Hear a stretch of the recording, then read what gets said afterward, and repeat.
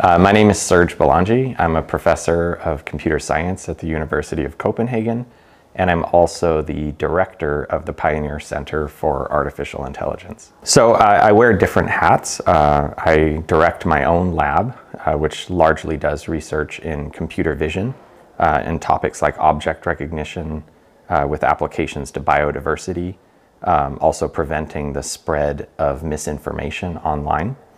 Uh, if I'm wearing the hat of the Pioneer Center director, there are seven areas of AI uh, that we focus on.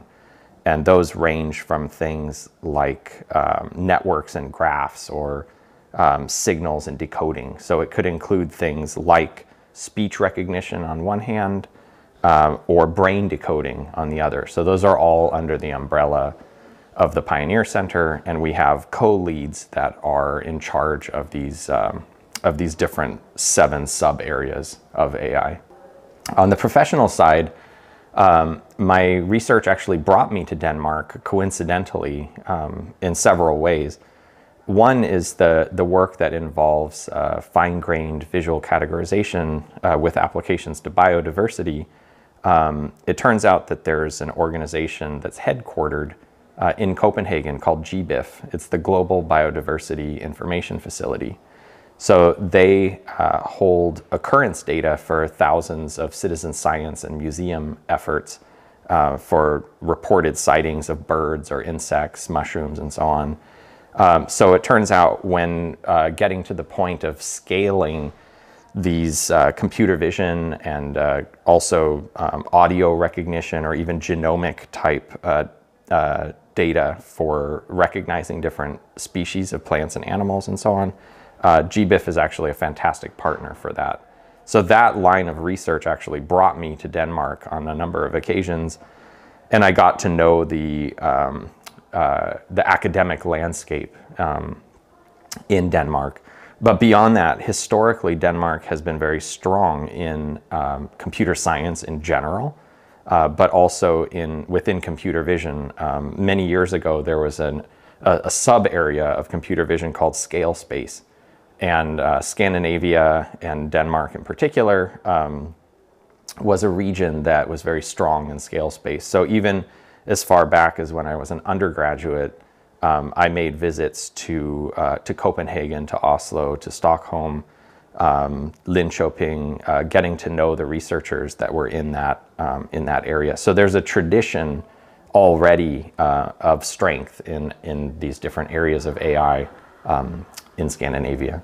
Yeah, so with regard to building capacity within Denmark, uh, this is something I think that a lot of countries in Europe are grappling with right now. And it turns out that there are several initiatives that will benefit all of us if we're willing to work together. One of them is ELLIS, uh, the European Laboratory for Learning and Information Systems. So ELLIS got its start from some of the powerhouses in AI, including Germany, Switzerland, the Netherlands. And uh, it's been around for a few years, and they have a unified um, PhD application process. Um, you can think of it as a meta application for PhD students. And this is one of those tricky things where all those different countries are, on one hand, competing because they want to get the best prospective PhD students from around the world but they also want that water level to lift everyone up. So what I'm finding so far is that the faculty who are part of ELLIS, which I just joined uh, shortly after moving here, we all share each other's posts and advertisements for these PhD and postdoc positions because we want them to come to Europe. They can join the ecosystem, uh, in this case of artificial intelligence within Europe, at which point they will discover many different promising capitals within Europe that are studying these very interesting problems. So at the moment, the visibility of Denmark may not be as high as some of the regions in Switzerland or uh, Netherlands or Germany, but we're moving in that direction. And I think in terms of critical mass within Denmark itself, the Pioneer Center, DIREC, the Data Science Academy. These are all things that were coming together around the same time that involve multiple universities working together. I think that part is important. Uh, as a relative newcomer to Denmark, I'm still able to see it through the lens of an outsider and say that if we end up squabbling about which Danish university gets which resource, we all lose. So we have to say, at some level, uh, while respecting the necessary competition that has to happen among universities, we should be able to have a unified message and say, first of all, come to Denmark to study AI. That's the headline. Then let's look at the sub area of AI you want to work on. Is it computer vision? Is it socially responsible or, or fair or ethical AI? Is it um, networks and graphs and applications within uh, social media? As you look at that landscape, it could be that the best advisor for you is in Aalborg. It could be there in Roskilde. We don't know yet. So I think that it starts with that European context of showing, in, much in the same way that Canada got its act together with the Vector Institute, with um, Mila. So different regions of Canada put together resources across different universities, made straightforward uh, processes for PhD students to apply, put together uh, big compute resources, GPU clusters. And so with that kind of inspiration in mind, we're doing the same thing within the Pioneer Center. So I think that that will be one of our challenges is to find that sweet spot on that spectrum between cooperation and competition, um, and preferably very close to that cooperation part. Um, so that that's a big part of what I'm focusing on as the uh, as the director of the Pioneer Center.